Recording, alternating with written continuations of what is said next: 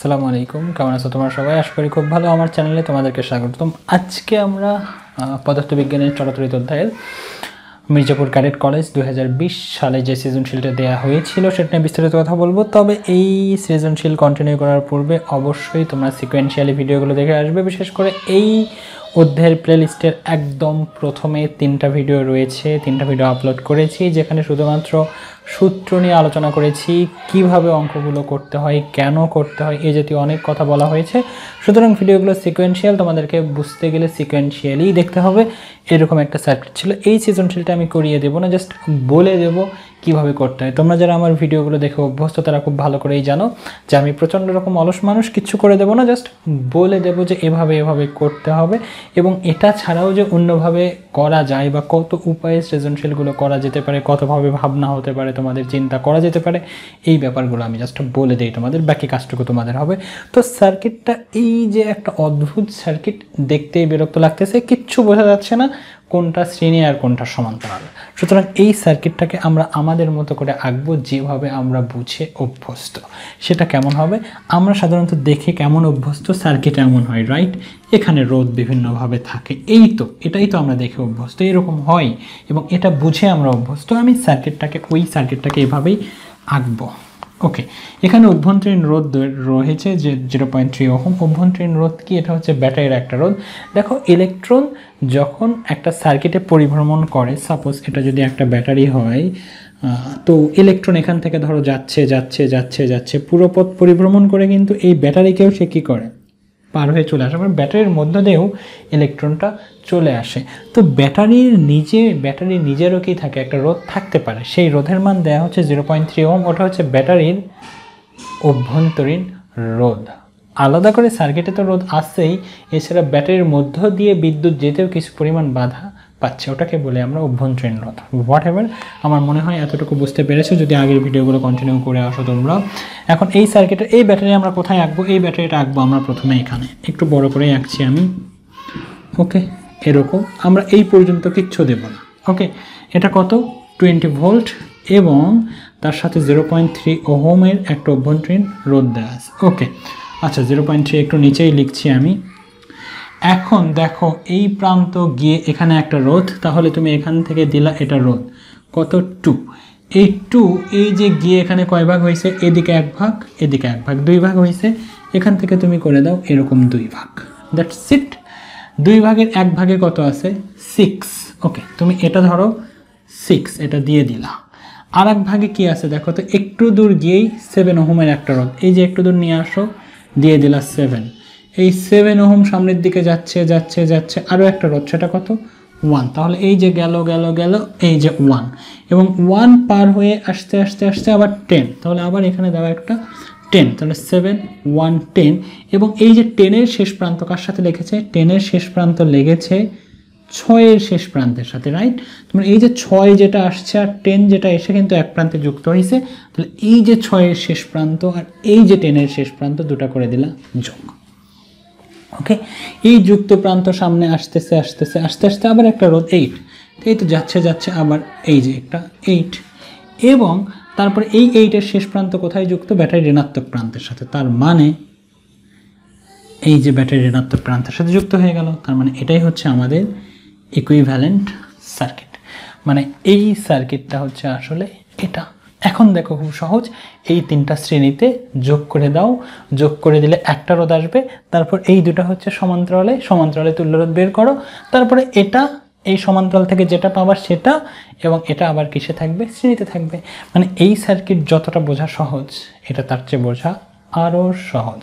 হ্যাঁ হতে পারে কেউ এইভাবে বুঝতে পারো, থাকতেই পারে, কিন্তু আমি যে কোনো সার্কিট এইভাবে করে নিই, এতে করে তোমাদেরকে বোঝানো। এবং ব্যক্তিগতভাবে আমার নিজের বোঝাটা বেশি সহজ ওকে তো এটা হচ্ছে আমার ওই সার্কিটের জন্য এই সার্কিট তারা বলছে বর্তনীর তুল্যরোধ কত? এখন নিশ্চয়ই কোনো সমস্যা হওয়ার কথা নয় এটা এখন এমনিই পারা যাবে যে এর তুল্যরোধ কত। তারপর বলছে সবগুলো রোধকে সমান্তরালে যুক্ত করলে ফাইভ অ্যাম্পিয়ারের ফিউজ ব্যবহার করা বা ব্যবহার করলে সেই ফিউজটা অক্ষত থাকবে কি? থাকবে না। কোশ্চেনটা কেমন? যে সবগুলো রোধ সমান্তরালে যুক্ত করলে একটা একটা মানে এখানে সাপোজ তারা একটা ফাইভ অ্যাম্পিয়ারের ফিউজ ব্যবহার করবে। একটা তার ফিউজ কি? একটা তার। এটা ফাইভ অ্যাম্পিয়ারের ফিউজ দ্যাট মিন্স এর মধ্য দিয়ে শুধুমাত্র ফাইভ অ্যাম্পিয়ার বিদ্যুৎই যাবে। ফাইভ অ্যাম্পিয়ার বিদ্যুৎ যেতে চাইলে এটা কি হয়ে যাবে? নষ্ট হয়ে যাবে। রাইট এটা গলে যাবে। তো আসলে এই অঙ্কের কি সমাধান? এই অঙ্কের সমাধান হচ্ছে কি জানো? এই পুরো সার্কিটে কত বিদ্যুৎ প্রবাহিত হচ্ছে আমরা সেটা দেখব। পুরো সার্কিটে কত বিদ্যুৎ প্রবাহিত হচ্ছে আমরা সেটা দেখব। যদি সেটা ফাইভ অ্যাম্পিয়ারের বেশি হয়, তাহলে তার গলে যাবে। আর যদি ফাইভ অ্যাম্পিয়ার কম হয়, তার গলবে না। দ্যাটস ইট তার মানে আমাদের কি, কী বের করতে হবে? পুরো সার্কিটের বিদ্যুৎ বের করতে হবে। এখন কথা হচ্ছে তারা কেন সমান্তরালে যুক্ত করতেছে? সমান্তরালে যুক্ত করে তারা কি বলতে চাচ্ছে? সমান্তরালে যুক্ত করলে কি এমন হতো? এমনও হতে পারতো যে এই অবস্থায় যে বিদ্যুৎটা যাচ্ছে, যার কারণে হয়তো তোমার তোমার বিদ্যুতের পরিমাণটা হয়তো ফাইভ অ্যাম্পিয়ারের কম আসতেছে। এইভাবে যদি তুমি সার্কিটটা রাখো, তাহলে হয়তো তড়িৎ প্রবাহ মাত্রা কম আসতেছে। দেখো, এই অঙ্কগুলো যখন করবা, আমি বলছি তোমাদেরকে, যারা খুব ভালো করে জানতে চাও, এই অবস্থার জন্য তোমরা আগে বের করো আয়ের মানটা কত। আই কত সেটা বের করো। আমার মনে হয় যে এখানে আই ফাইভ অ্যাম্পিয়ারের কম থাকবে। তারা কি বলল? সমান্তরালে যুক্ত করল। সমান্তরালে যুক্ত করে আসলে কি করল? কেন তারা এটা বলল? কারণ সমান্তরালে যুক্ত করলে রোধের মান কমে যায়। আর রোধের মান যখন কমে ইকুয়েশন দেখে খেয়াল করো I equal V by R রোধ যখন কমে, তড়িৎ প্রবাহ মাত্রা তখন বাড়ে। তবে তারা আসলে সমান্তরালে যুক্ত করে কি করেছে? রোধটাকে কমিয়ে দিয়েছে। আর তারা খুব ভালো করেই জানে, রোধটা কমে গেলে তড়িৎ প্রবাহ মাত্রা বেড়ে যাবে এবং এমনও হতে পারে যে তড়িৎ প্রবাহ মাত্রা ফাইভের চেয়ে বেশি হয়ে গেল। সুতরাং ফাইভ এম্পিয়ারের তারটা গলে যাবে। তাহলে ওখানে ওই কথা বলার একটাই উদ্দেশ্য যে তারা পুরো সার্কিটের তড়িৎ প্রবাহ মাত্রার মানটা বাড়িয়ে দিচ্ছে।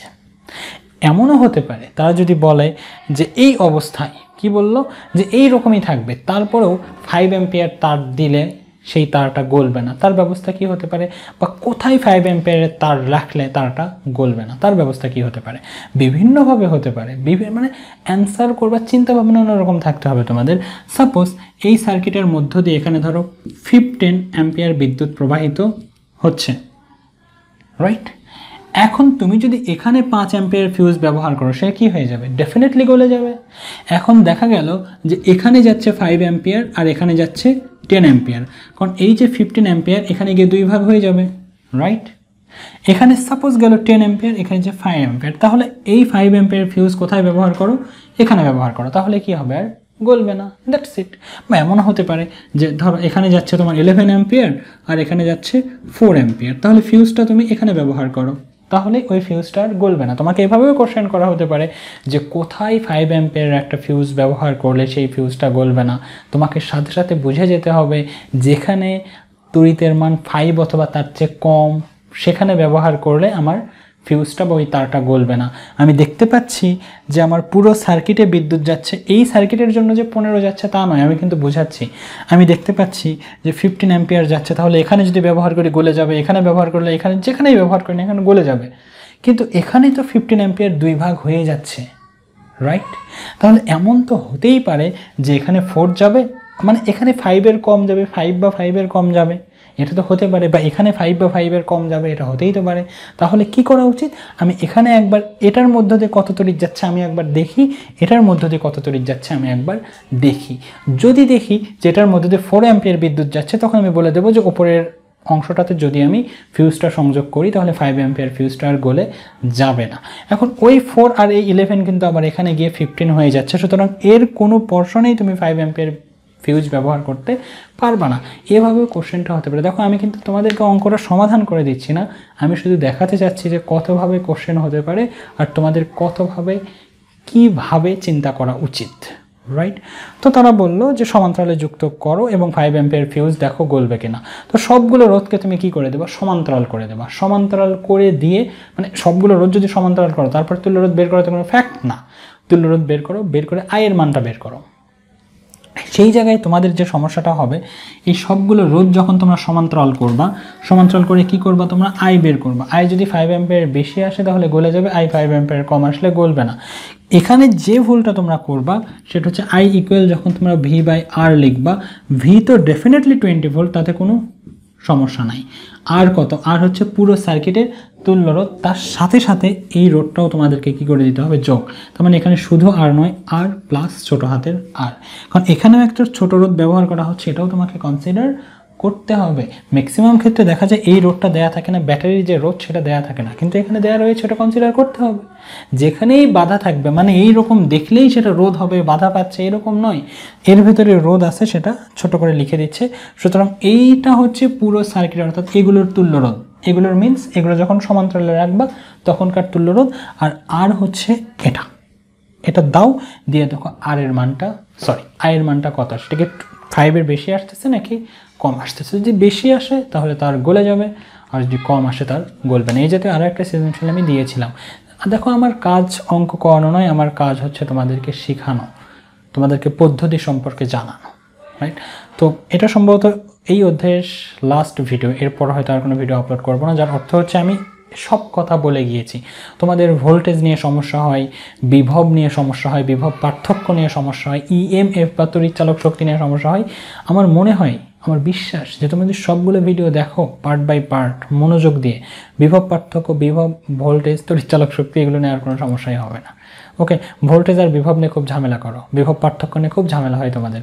ভোল্টেজ হচ্ছে বিভবের একক আসনে। তো এখানে হুট করে দু একটা কথা বললে বুঝবা না। কারণ এটা লম্বা একটা জার্নি ছিল। চলতরিত অধ্যায়ের এটা লম্বা একটা জার্নি ছিল। মিনিমাম সবগুলো সৃজনশীল এবং মূল বইয়ের টপিক এবং তিনটা সূত্রের ভিডিও দেখতে তোমাদের মিনিমাম চার থেকে পাঁচ ঘণ্টা সময় লাগবে। যেটা আমি পাঁচ ঘণ্টা যাবৎ আলোচনা করেছি, সেটা যদি আমি দুই মিনিট বা পাঁচ মিনিটে শেষ করি, তারাই বুঝবা যারা পাঁচ ঘণ্টার আলোচনা শুনে আসছো আর যারা নতুন শুনতেছো, তারা বুঝবা না। রাইট সুতরাং যারা নতুন শুনতেছো, তারা এটা না শুনে প্রথম থেকে ভিডিওগুলো দেখো, আমার মনে হয় খুব ভালো করে বুঝবা। ভালো থেকে তোমরা সবাই, দেখা হচ্ছে পরবর্তী ভিডিওতে। সালাম আলাইকুম।